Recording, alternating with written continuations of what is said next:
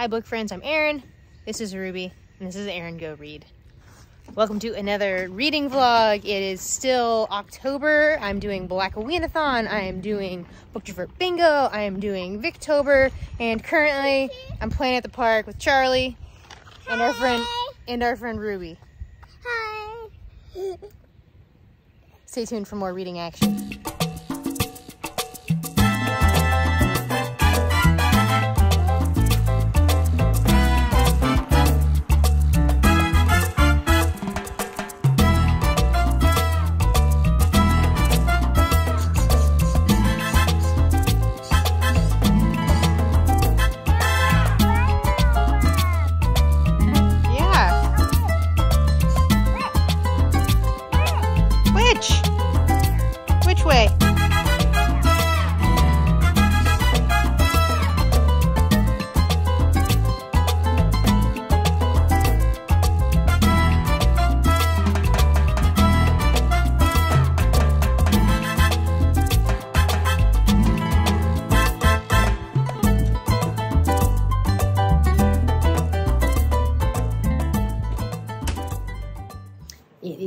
Saturday afternoon. I'm reading The Woman in White. I just read a good 20 pages or so, and I am, um, let's see, I'm on page 164. I'm through the first three, like, narrators, people's tellings. The story gets passed off from one person to the next. And actually, this next section is told by the same person. It's just after a certain event has happened. So, in this story, we have these two sisters uh, who live together with the uncle of one of the sisters. Like they have different they have different dads. There's a whole thing. Um, one of them is set to be married, and the woman in white gets kind of entangled in this. So Mr. Hartright, who was their uh, like art professor, um, on his way to go be their teacher at their house, he encountered the woman in white, who later they find out has actually escaped from an asylum, and she had previous um, like contact with this household. So she's now she then sends a letter saying that Laura should not marry the guy that she's going to marry, Mr. Percival. Percival, Percival Glyde is his name, and there's kind of like a love triangle situation happening a little bit. She had promised her husband, her her dad. It was like her dad's dying wish or whatever. Her, her dad set up this engagement between Laura and Percival and so Laura is very much like she's going to do it because that's what her dead dad wanted. Um, but she actually falls in love with Mr. Hartright, and it's like this heartbreaking situation. So now we're kind of this last whole bit has just been kind of the um, the logistics of is the wedding actually going to happen she um her sister tells her like you've got to tell Percival that you're actually in love with somebody else and then let it be on him if he wants to if he wants to call off the engagement or not because Laura won't do it because she made this promise to her dad. Um, and so we have not heard anything of the lady in white for a while. Um, and the wedding since has just happened. So that's where we are in the story. Um, I'm looking forward to more of the woman in white.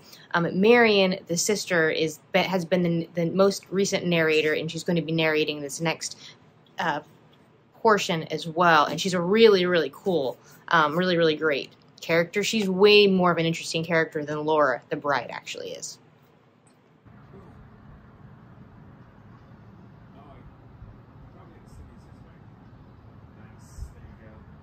Beautiful sleeping boy. So, other than sleeping, I've basically been sedentary for the last 24 hours, and so um, I'm gonna walk on the treadmill while I tackle the last 30 pages or so of the memoir. So, this should probably be the last full read through and edit.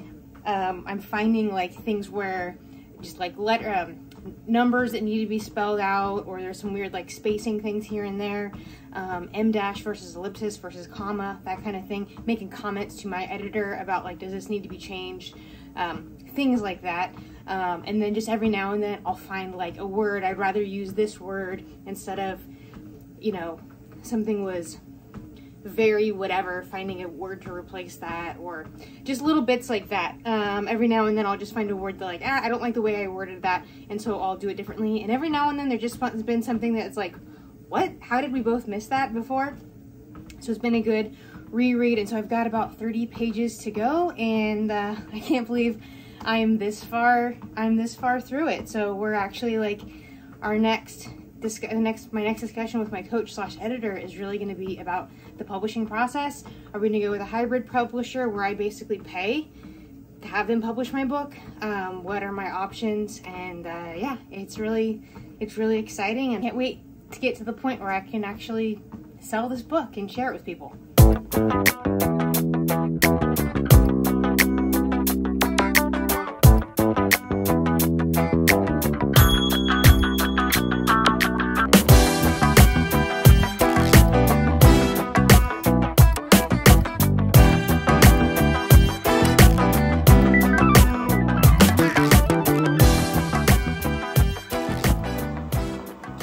I just fell through a punctuation rabbit hole. Did you know that there's something as an en dash, which is different than an M dash, which is also different from ellipses or different rules for all three? All throughout the entire manuscript, what is supposed to be an M dash, which I use quite liberally, I like it stylistically, I have actually used an en dash or just a hyphen so I have to go through the entire manuscript and fix all of those occasions. Also, I don't think I used the ellipsis correctly uh, once. I think every time I have an uh, I think every time I have an ellipses, it's actually supposed to be an em dash. So I've just sent off a Loom video to my editor to ask her like, hey, make sure I have this rule correct so I can go back and fix it because I can fix it for free rather than having to pay her to fix it. But other than that, content wise, I am through the entire manuscript. That feels really good. I just have a few questions that I left in the comments um, for my editor. And other than that, like content wise, it's done. Like the manuscript is done. So that feels super, super good. I just can't wait to like get it into people's hands and have have yeah, be able to talk about it with people in in in more than like this way where I know what I'm talking about and you don't know what I'm talking about yet. I'm enjoying this, but I do kind of wish we would like get on with the plot a little bit. I'm not even halfway through and it's it's been a while. It's been a while since we've seen the woman in white. Every now and then she's referenced, but for the most part we haven't we haven't seen or heard of her. And nothing spooky has happened really at all. So, could we get on with it? Hey guys, it's midday on Tuesday. I was just sitting down, actually, I just was getting distracted from reading A Blade So Black, which I started this yesterday during Blackaweenathon sprints. I think it was on Ashley's channel at Bookish Realm. Blackaweenathon is a uh, readathon to encourage you to read Black authors writing crime, so suspense, horror, whatever, that kind of stuff. And A Blade So Black is a, um, like a Alice in Wonderland, um, not remake, but like retelling kind of thing. Um, so that is Alice and she has to go into like basically Wonderland to kill nightmares. And she helps keep like the balance of not letting too many nightmares, um, like enter into our world. So I'm very early days, uh, in this, but I'm around page 65 or so. So most of that was read during the sprints last night. Um, but I was uh, completely not on my TBR and the sprints just popped up and actually made it a point was like, hey, if you're on Blackaweenathon sprints, you at the very least need to be reading a black author. And I realized I don't think I have a single black author on my entire October TBR. And so I went and grabbed that. initially, I was going to read that for this project that didn't go anywhere. It's called Down the Rabbit Hole.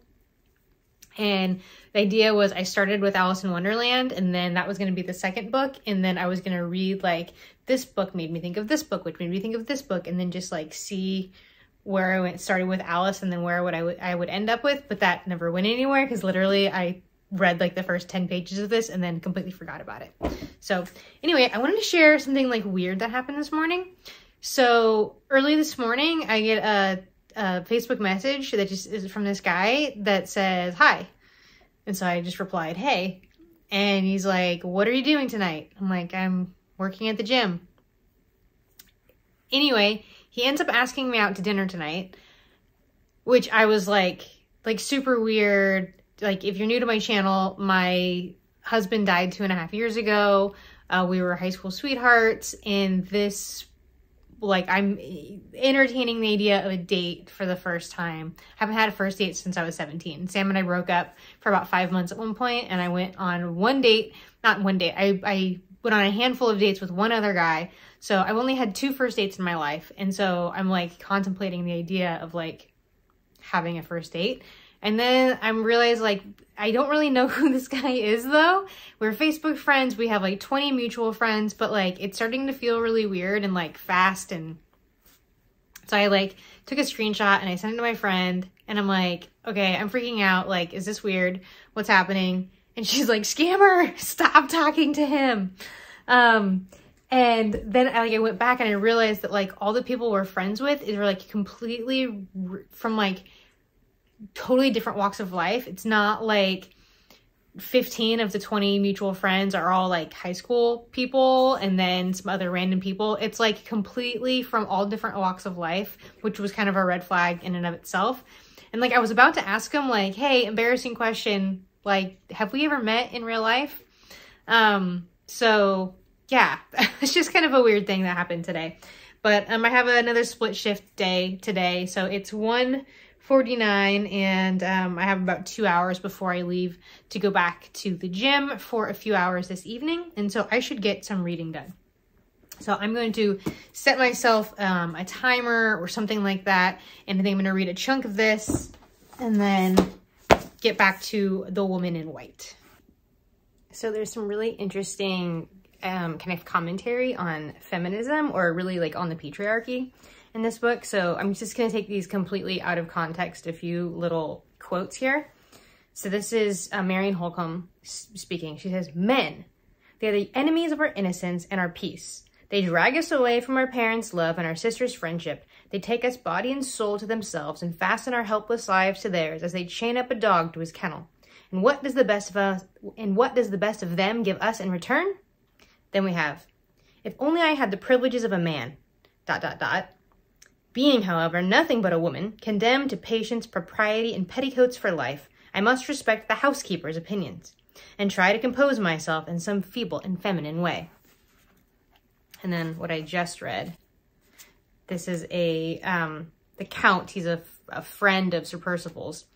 He is a, a Italian man, and he's referring to he and his wife both signing as witnesses to some document. And he says, this cannot be if my wife signs as well as myself, because we have but one opinion between us, and that opinion is mine. Not to mention the fact that we don't really know yet why Anne Catherick was put in the asylum in the first place. We just know that Sir Percival funded this private asylum um, residency, if you will.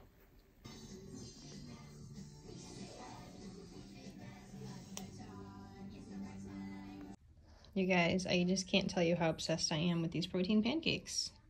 They're so freaking good.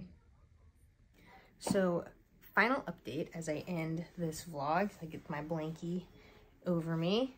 Um, having some, um, the, the weather is definitely changing, even though our, our highs are still, it's be like 85 today. It was 90 yesterday, but the morning is cold and it's giving me really bad fibromyalgia pain. So I just have really achy legs right now but as I'm reading updates.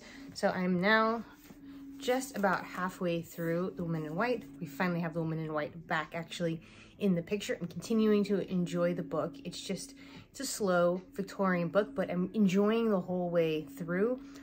Um, the husband is just a misogynist brute who wants to control Laura and her money and it's really cool to see the ways that it, they're kind of fighting against that. So we're kind of right in the middle of that struggle. And that really is more of the storyline with now with the woman in white kind of in the background, although she's come a little bit more in the foreground right now. And she has a secret about stupid Sir Percival Glyde that we hate. So um, we don't know what that secret is yet, but um, the sisters are trying to find that out. So this is going really well. I decided to DNF a Blade So Back Black. I got about 100 pages in, and I just don't care just not doing anything for me. So this is out.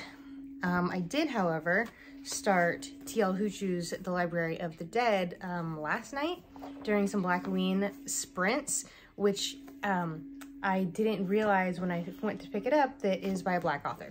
So that works. So I have something to read for um, for Blackaweenathon. So that is what we have going so far for, gosh, we are three weeks into October now. I can't believe how time fa how fast the time has gone, but it's going really well for me. And I think um, it's, it's looking like The Woman in White is going to be my primary read. Um, I would really like to pick up, I forgot to put it on my TBR, but Three Men in a Boat is one I've been thinking about. And then Cranford as well. I would love to at least read, because I think there's like three stories or novellas in the Cranford like bind up that I have. And so main like read like the main Cranford still. Um, I'm not sure if I'm gonna be able to get to it or not. But yeah, there we have it. Um, what are you reading for Victober? Are you participating in Blackaweenathon or any other um, any other October booktube, let's say holiday, booktube event? Love to know. Thank you for watching. See you around the tubes.